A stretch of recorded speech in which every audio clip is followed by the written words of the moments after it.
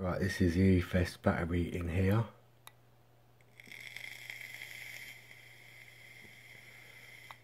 It's just not, you know, it says half full. 2 volts, and it's, I mean, I can't suck on that. I don't know if you can hear it, but look, it's just going right down to nothing. But when my other batteries get that low, they never do that.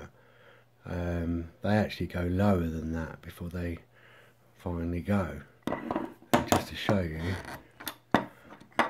that is an Efest. And if I use these type of batteries, my Samsung, here's, my old Samsung, right? Uh, it's a fourth battery that I've ever bought. Uh, this was the fifth, and that's a sixth. I bought that basically because this is just only a few weeks old and it's doing doing me head in. These Samsung definitely, uh, as I've compared them, are giving me a better result, possibly lasting longer. And um, you know, when they get when they get half low, maybe I'll wait and finish this video with another one to show you how that goes at the end. But these E-Fest, um, I thought they would be better because the 3000 milliamp which is basically a bigger power uh, should kind of last longer or something. They are it goes up to 35 current. So I mean I'm not really you know I'm using under uh, 26 watts there. Um, so I'm not using mega high powers. I'm a little bit surprised that uh, I, I was expecting more from these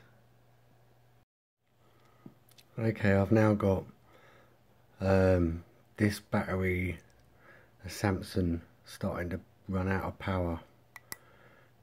So, remembering I'm doing my video.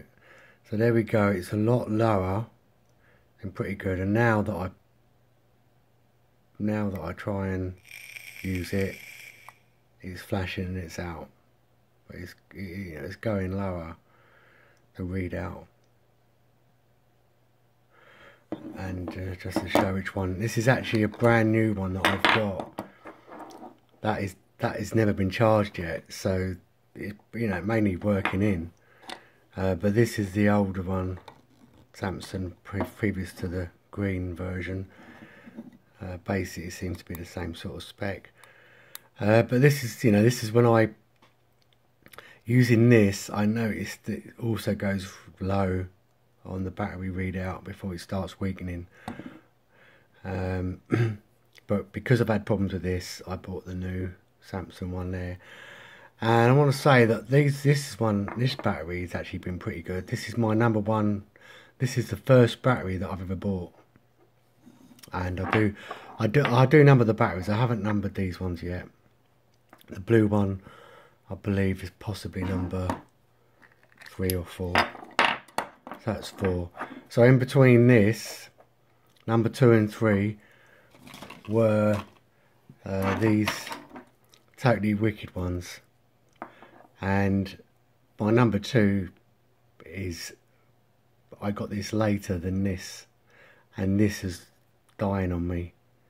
So this, these aren't very good. I didn't don't rate these very much. I've got another one of these in my um, this one here as you can see it's the red battery in there. In here which is the number three which isn't doing too bad.